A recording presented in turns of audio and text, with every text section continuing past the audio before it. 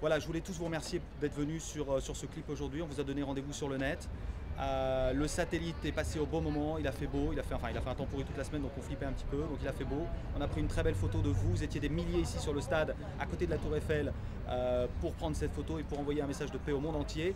Aujourd'hui on est le 19, lundi ce sera le 21, journée internationale de la paix. Donc voilà, grâce à vous, on envoie un message de Paris pour la paix au monde entier.